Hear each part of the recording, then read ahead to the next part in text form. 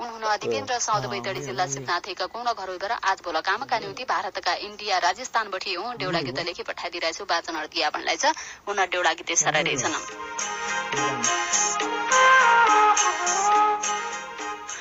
घाम लागलो सैतमा स जाडी होलीमा ग घरछाडे परदेश आया मुटु लाग्दिया ग। भाग रहेछ।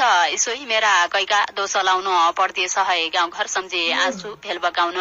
कैका मुख हेरौँ मैना कै सम्झेर हाँसो। छुट्ने बेला मैना तैले बगाई आँसु।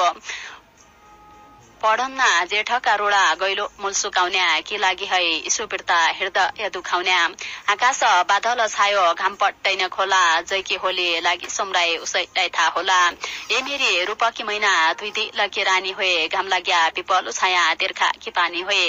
गोठाला भैँसी बसो रहडी लेख भया संसार जिताउला मैना तुइरे मै एक भया। संसार जिताउला मैना तुइरे मै एक भया।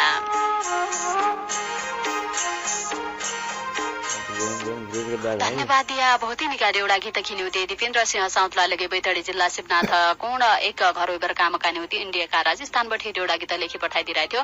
पढन्ना जेठका रोडा गैलो मल सुकाउने के लागि भए यसो पिर्दा हृदय दुखाउने तसरी गोठालो भई बसिरहन्थ्या रहड लेख भया संसार जिताउला मैना तुइरे मै एक भया भन्नलाई थियो। बहुत बहुत धन्यवाद छ।